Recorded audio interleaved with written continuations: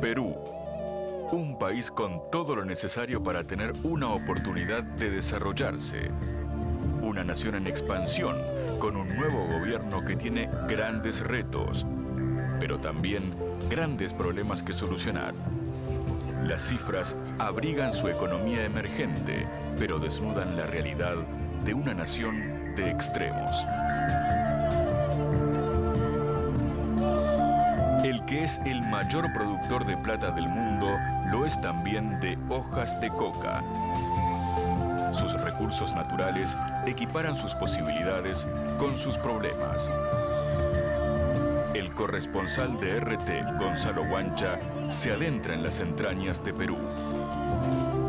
Un país con luces y sombras que quiere iluminar su camino hacia el futuro.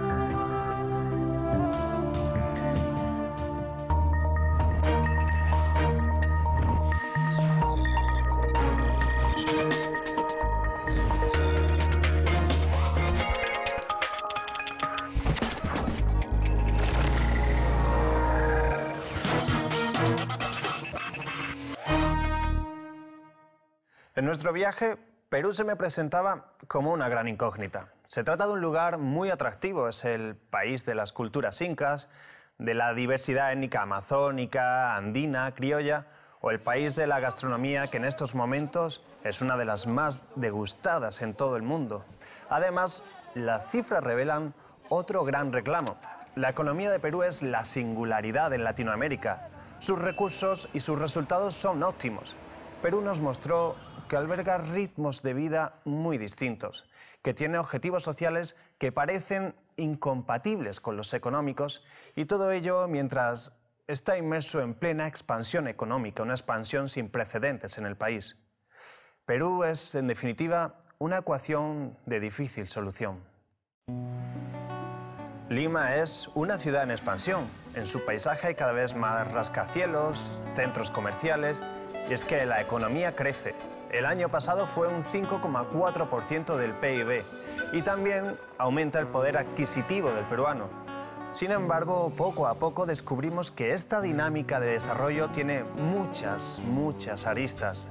El Perú, como es conocido, ¿no? hay un crecimiento muy importante en términos económicos en los últimos años, pero lamentablemente eso no, está, no ha elevado el nivel de vida de los trabajadores hay crecimiento económico, pero no hay desarrollo en el país. Seguimos siendo un país basado en una economía primaria. Desde que llegamos a Lima, notamos que algo no cuadraba, algo no encajaba. El éxito de esas cifras macroeconómicas era, sin embargo, acallado por un ruido, un ruido que nos llegaba desde las calles, el ruido de las manifestaciones. Sucede que prácticamente todos los días que estuvimos en la capital encontramos manifestaciones y protestas contra un modelo de desarrollo que, a pesar de ser contante y sonante, no convence ni parece beneficiar a todos los peruanos.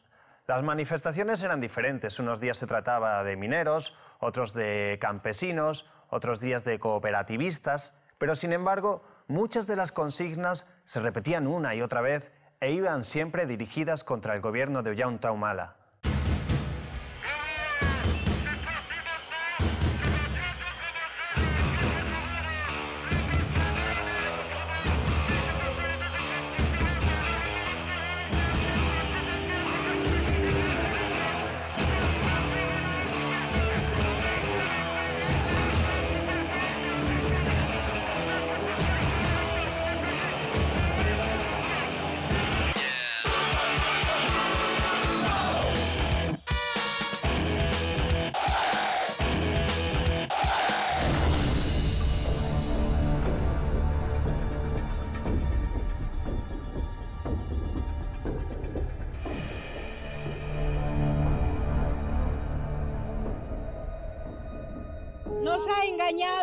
Haciendo ver que era nacionalista, que iba a defender nuestro recurso hídrico.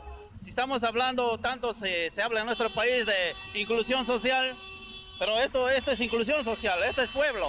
Y solamente se recuerdan en, en épocas de campaña electoral, y cuando ellos ganan ya se olvidaron, ya atienden la banca privada, las grandes empresas y no, no la necesidad del pueblo como debe ser. Quieren privatizarlo todo, las grandes empresas, los grandes funcionarios y aquellos políticos que quizás están metidos en la banca privada. Nosotros en realidad nos sentimos ahora como extranjeros frente a la presencia de Chinalco o de Newman o de la Barrick o de cualquier otra empresa que viene, es decir, el Perú está prácticamente entregado a las empresas transnacionales. Este gobierno no es el presidente de los peruanos, es el presidente de las empresas transnacionales. Con estas manifestaciones pudimos poner voz y pudimos poner rostro al dato que revela que el 60% de los conflictos sociales que hay activos en el país son de corte socioambiental. Perú está basando su progreso económico en la explotación de hidrocarburos y sobre todo de minería. Sus gobernantes definen el país como uno de los destinos más atractivos para la inversión de este sector en todo el mundo. La minería responsable ha de convertirse en la palanca de nuestro desarrollo, de la mano con la inversión privada que es una de las más una de las variables esenciales de este crecimiento y a la que convoco como socios para hacer realidad esta perspectiva de desarrollo y de industrialización. En Perú hay tradición minera desde hace miles de años. A lo largo y ancho de su geografía hay cientos de explotaciones, pero del mapa destaca un nombre propio que nos llamó verdaderamente la atención, la Oroya. Nos encontramos en el corazón de la fundición de plomo más importante de Latinoamérica que pertenece a la compañía Tuerran, supuestamente responsable de convertir a la comunidad de La Oroya en la población más contaminada del planeta. Decidimos viajar a La Oroya porque creo que allí pueden verse muchas de las fortalezas y también debilidades de Perú. Es un lugar superlativo, es un lugar de extremos, es una de las plantas a mayor altitud del mundo, una de las más productivas, pero también es conocida por ser una de las más contaminantes en el planeta.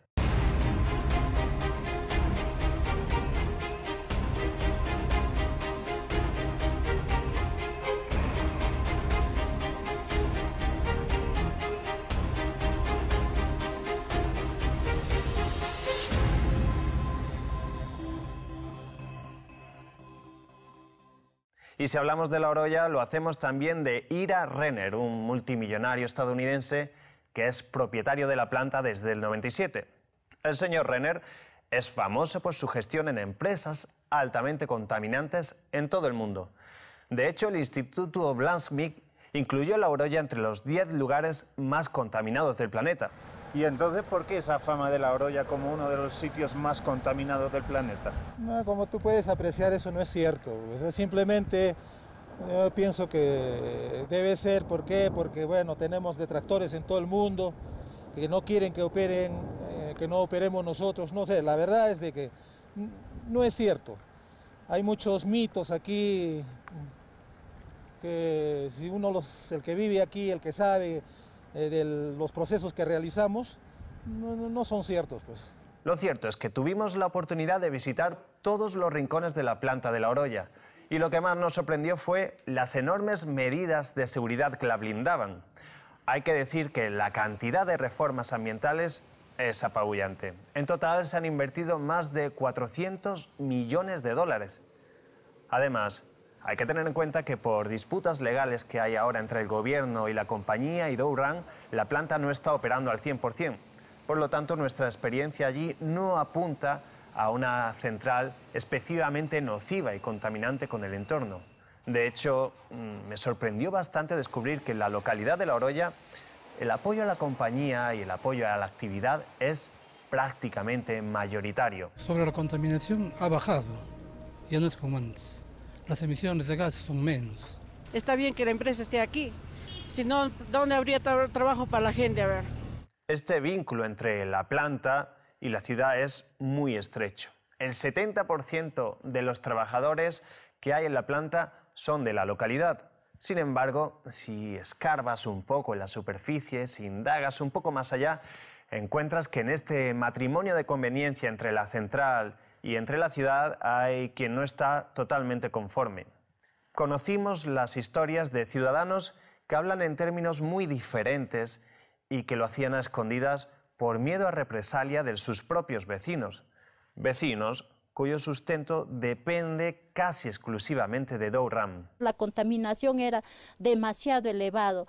Uno no podía estar en Loroy Antigua porque los ojos te picaban como si te echaran el ají, la nariz, la garganta, pero ellos, la gente que viven, se ven obligados a decir que no hay contaminación. Ciertamente, estos testimonios fueron muy reveladores. Estas personas nos recibieron prácticamente en secreto. Nos hablaban de una comunidad en la que lo más normal es morir de cáncer y en la que se veía con naturalidad que las personas de una misma familia fueran falleciendo una tras otra. Son personas que viven con miedo a la contaminación, sobre todo por sus hijos y por las generaciones que vivirán allí las próximas décadas. La presencia de plomo en la sangre de la población era, pero tan, tantas cantidades, multiplicadas por tantas cantidades que este, era asombroso, pero eh, como que vivíamos tranquilos. ¿no? ¿Y por qué la población decía no, no quería ver esa realidad, esa contaminación? El asunto era de que la mayoría de la población o vivía este, o era trabajador directo de la empresa o vivía de, digamos, era una persona que vivía indirectamente también de la empresa. Por ejemplo, ¿Eso sigue pasando hoy? Yo creo que sí. La conclusión de nuestro viaje a la Oroya es que la contaminación puede haberse remediado ahora, pero es algo que ya llega tarde. El mal está hecho y en estos momentos lo sufren los vecinos de la localidad. De hecho, varios estudios revelan que el 99,9% de los niños menores de 5 años tienen niveles de plomo en sangre muy superiores a los normales. Yo pienso que aunque más vale tarde que nunca, por otro lado, nunca es tarde para reconocer la culpa, para reconocer lo que se ha hecho mal. En ese sentido, me sorprendió mucho la actitud crítica de Luis, un hombre que ha ocupado varios cargos en la empresa a lo largo de 38 años trabajando allí. En este momento no contamina la fundición, pero a la medida que todos los años han ido contaminando los techos, los cerros, están contaminados. Llueve, entonces todo se baja al río y sigue contaminando. Solea, hay polvadera y sigue contaminando. Entonces, al final, perjudicado a toda la población. Yo creo que la Oroya puede ser un escenario reducido de muchas de las variables que se dan en el país, en Perú. Allí encontramos compañías extranjeras que aportan riqueza por un lado, pero por otro generan un desarrollo poco sostenible o que al menos es cuestionable. Tenemos también comunidades que por la falta de alternativas se ven abocadas a ser prácticamente mano de obra. Y se da también la focalización exclusiva la minería como sustento económico. Ese es un tipo de desarrollo con fecha de vencimiento. Luego lo que deja su paso es ecosistemas degradados, poblaciones que tienen que, que refugiarse en otros lugares. Ese es el destino que está deparado para Loroya o que está destinado para todo pueblo minero donde no hay controles ambientales adecuados o donde no ha habido procesos de diversificación económica y un Estado ha actuado de manera ineficiente. Realmente el gobierno está muy atado de manos a la hora de actuar y el motivo no es otro que la economía informal. Se trata de un enorme flujo de actividades que existen paralelamente al Estado, paralelamente a la ley pero a veces también, como muchos nos contaron en Perú, con la complicidad y, el beneplácito de las propias autoridades. El problema es el siguiente, las actividades ilícitas en el Perú eh, predominan en una economía donde hay poca institucionalidad. Entonces, eh, 60% del PBI peruano es informal. Dos, eh, tres cuartas partes del mercado laboral peruano es informal en esa economía con esas características, tenemos actividades ilícitas que número uno es el narcotráfico, que devasta la selva amazónica con, con los cultivos de coca y la utilización de ácido, permanganato de potasio, etc. De ahí tienes la minería ilegal que utiliza mercurio y cianuro. En Perú la lucha contra la minería ilegal, eh, la que opera a gran escala y es gestionada por peligrosas mafias, ha cobrado tintes bélicos. El gobierno ha designado a un militar con plenos poderes. Este hombre es el general Daniel Urresti. La minería ilegal mueve en el Perú 2.900 millones de dólares anualmente. 2.900 millones de dólares anualmente. Esto significa que mueve un 15% más que el narcotráfico. Esta gran masa monetaria le permite a ellos tratar de corromper todos los niveles del gobierno y todas las organizaciones. Y también este, le permite a estas mafias pues, este, tener eh, sicarios, etcétera, ¿no? Este es un puesto especialmente difícil y peligroso, ¿no? Porque acá eh, a mí yo tengo amenazado hasta mi perrito, ¿no? Me sorprendió mucho el método de trabajo. El general Urresti nos explicó que las intervenciones se coordinan en un grupo muy pequeño de personas. El alto comisionado contra la minería tiene línea directa con el presidente Humala. La información que manejan no sale de un círculo reducido para evitar que ésta llegue a las extensas redes de las mafias. Hay que entender que el Perú, como país minero, tiene la bendición o maldición, no sé, depende del punto de vista que se vea, de que hay mineral en todo el Perú. O sea, encuentras oro en cualquier sitio. Eso hace que la minería ilegal e informal se encuentre en 21 regiones de las 25 que tiene el país. La lucha contra las mafias de minería legal es sin cuartel, aunque muchos ponen en tela de juicio que esté siendo realmente efectiva. Eso se ha convertido ya en un problema de significación ambiental nacional por la cantidad de hectáreas de bosques deforestados, por la cantidad de mercurio que se vierte a, a los ríos y porque en general el tema ha llamado la atención mundial. Y es allí donde sí el gobierno ha intentado hacer esta especie de, operativos eh, casi de película, histriónicos, ¿no? para decir vamos a combatir eh, en la raíz los problemas de la minería ilegal. Sin embargo, se tratan de medidas efectistas que no responden a la realidad. Para poner un ejemplo, ¿no? Uno, e, esa minería se está haciendo en zonas donde hay concesiones mineras. La pregunta es quién dio la concesión minera. La concesión la dio el Ministerio de Energía y Minas. Hemos denunciado esta minería por ser depredadora, por explotar y por contaminar de una manera realmente irracional. Con explosivos fueron destruidas varias maquinarias pesadas. Las cifras de los especialistas son aterradoras. Entonces se hace trabajos focalizados solamente para la noticia y en el fondo otros son las intenciones. Esa es la realidad. Acá hay un grupo de poder económico muy grande en el país y muy fuerte que maneja no solo el aspecto de la, la minería ilegal, manejan también los medios de comunicación, que en el fondo te dan la noticia que ellos quieren, no la realidad. Más allá del debate del modo en que se está combatiendo la minería ilegal, está el hecho de que es enormemente poderosa y destructiva. No solo hablamos de deforestación o de desertificación, sino de un problema de salud pública. Algunas poblaciones, por ejemplo, triplican los niveles en sangre de mercurio por la contaminación que hay en el agua. Y a esto, además, hay que añadir la aparición de enfermedades de transmisión sexual. Se va extendiendo, es lo peligroso desde nuestro punto de vista, porque tienes tú también en el, tema de la, de, minería informal, con lo que eso genera, el término de, prostitución, de, la generación de, inframundos o submundos, ¿no? donde no se respeta nada y evidentemente la vida no vale nada para, para cientos o miles de trabajadores y, sobre todo mujeres, jóvenes. Lo primero que va a haber en una zona que, tiene un auge económico son bares, prostíbulos y ese tipo de cosas. Ves también temas de trata de personas, este, gente que, mujeres que son traídas de otros lugares con promesas de trabajo, este, como ser cocineras o atender en el restaurante, termina en un prostíbulo.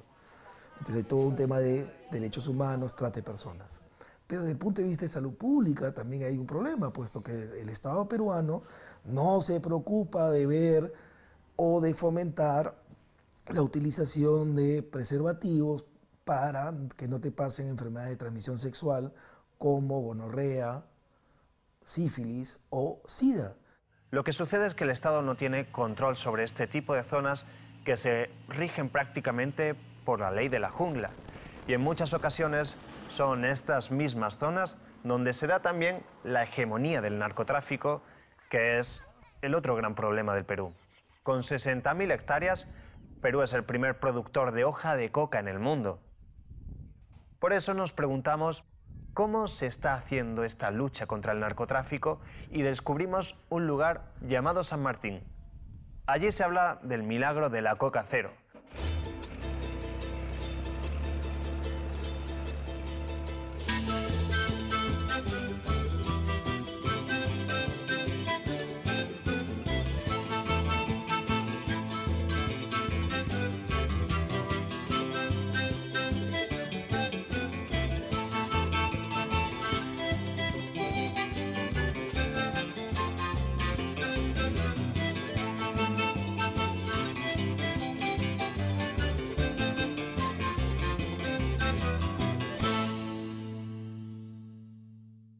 Se trata de una zona de selva tropical donde los narcos fueron la única autoridad durante años.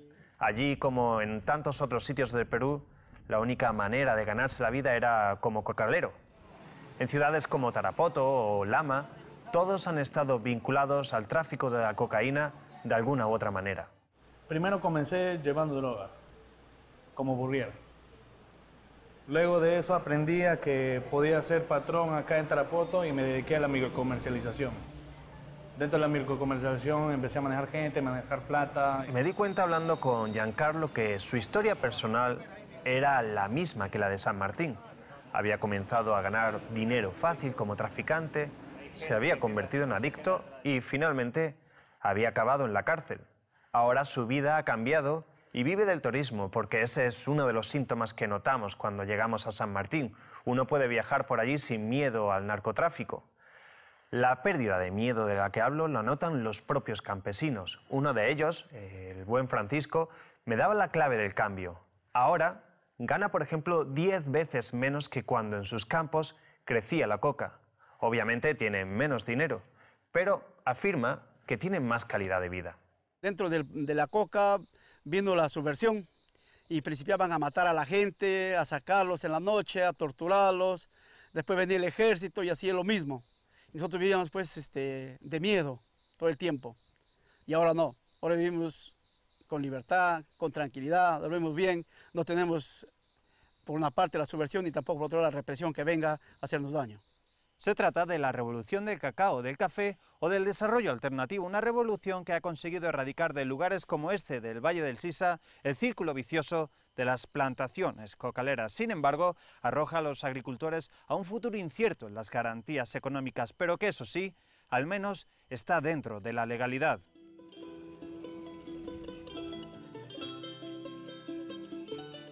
El viaje a San Martín nos mostró una de las caras más positivas del Perú en la lucha contra la ilegalidad.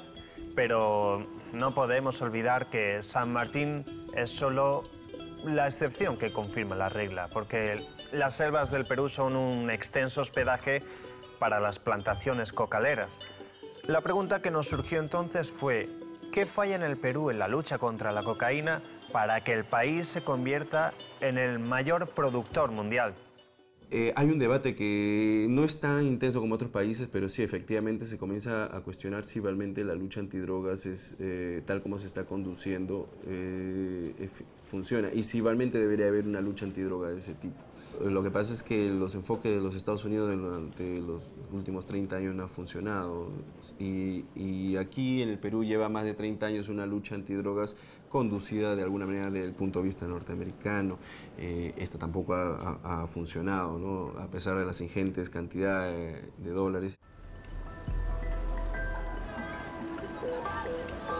De hecho, esas enormes cantidades de dinero que llegan del exterior explican que no haya grandes reformas en la lucha antidroga, más allá de pinceladas minoritarias como las que hemos visto en el Milagro de San Martín. Y es aquí cuando aparece, si hablamos tanto de la lucha contra la coca como cuando hablamos de la minería ilegal, la inevitable sombra de la corrupción. Algo está pasando en el Estado peruano que desde los años 70 tiene una estrategia antinarcóticos que no funciona. Entonces tú debes entender que no es solamente un tema de falta de presupuestos, falta de planificación, sino temas abiertamente corrupción. Porque estos dineros ilícitos que se mueven en grandes cantidades permiten corromper a la autoridad. Entonces tienes autoridades locales, regionales, nacionales, fiscales, jueces, policías. Las contradicciones están en el propio sistema del Perú, no solo en sus problemas, que son enormes, como hemos visto, hablamos de contaminación o de los submundos de la minería ilegal o el narcotráfico, sino también hay contradicciones incluso en la misma manera de abordar esos problemas. Perú es un país que económicamente es una locomotora hacia el desarrollo, pero que socialmente está dejando a muchos peruanos fuera de ese tren de vida. Se trata de ciudadanos que se sienten excluidos de su propio país.